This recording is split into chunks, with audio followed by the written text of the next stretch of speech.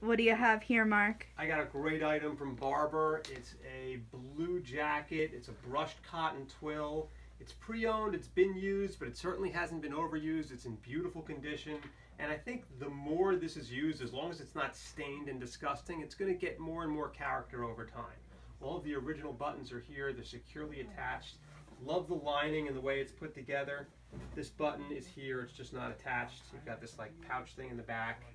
Uh, what, what I really like about the jacket is the embroidery detail.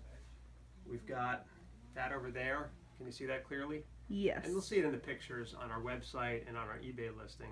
We've got that back there. It's marked a size large. I normally wear a medium. I'm five foot ten. I weigh 170 pounds.